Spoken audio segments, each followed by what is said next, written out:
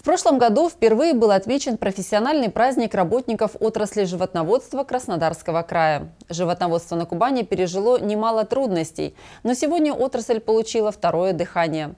Наш край в числе лидеров в России по производству молока, и свой немалый вклад в общий успех вносят животноводы Славянского района.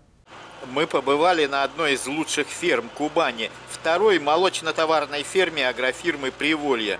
Дойное стадо здесь 410 голов, 7308 килограммов молока получено в прошлом году от каждой коровы. Результат прекрасный. И самое главное, что животноводы не останавливаются на достигнутом.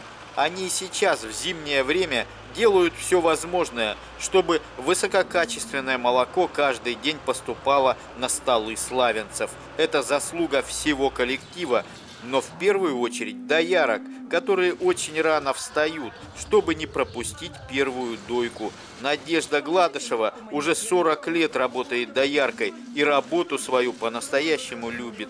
Я дояркой работаю 40 лет. Работу, конечно, свою люблю.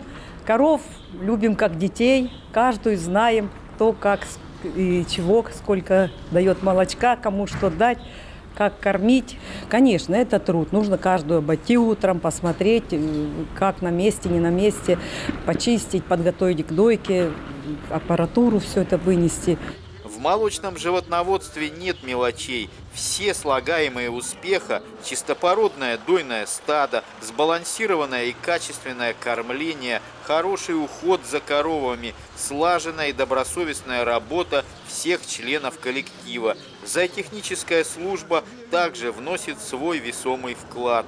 У нас очень прекрасный коллектив, у нас очень хорошие условия труда, у нас очень хорошая э, кормовая база. И благодаря всему этому мы добиваемся больших успехов по удою молока. Благодаря нелегкому труду животноводов славянцы получают качественные молочные продукты.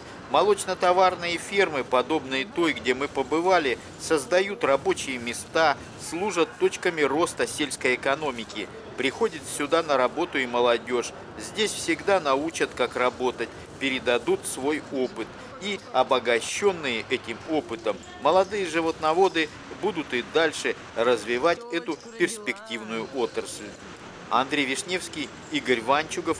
Программа «События». Ну ты хорошая девочка.